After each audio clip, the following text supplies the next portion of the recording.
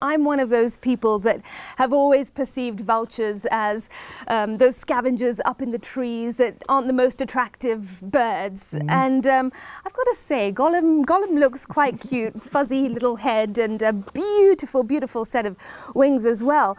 Um, but as I said earlier in the show, Simon, these birds are under threat. Tell us a little bit more about that. Uh, well, this particular species is now critically endangered. Um, along with the white-backed vulture, they're also critically endangered, and we'll see that later. So the whole come back. Here. All right.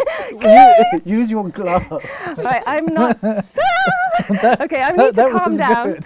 Gollum was um, pecking at me, um, misbehaving Gollum. but I suppose I'm a stranger. I, will calm down a little bit. But um, yeah, sorry, Simon. You're, you're very on. lucky.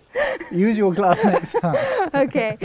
I mean, how? First of all, how how dangerous are vultures? Well, they are wild birds. He can eat a, a, zebra and cut straight through the skin, so you can imagine just how powerful he can be. Um, no. Sorry.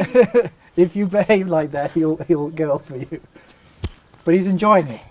They're very social, and the camera crew is standing around. You, he's actually enjoying this moment enormously. All right. Um, he's cute. Look, you've got to think he's endearing. So Gollum will unfortunately never be released. Um, I don't know. I'm, I'm. Should I? Should I stroke his you can head a little? Yep, is there yep. a certain way just, I need to do this? Just, just stroke his head and see if you'll, if you'll like that. Go on. Okay. And his neck like that. Okay. Oh. Go on, go okay. on gently. Hello. Hello. If he nibbles you, just let him nibble.